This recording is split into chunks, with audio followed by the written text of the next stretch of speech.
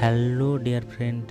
Welcome to our channel Movie Zu friend today i am going to talking about hit the road movie artist real name and movie character of this film. So let's get started guys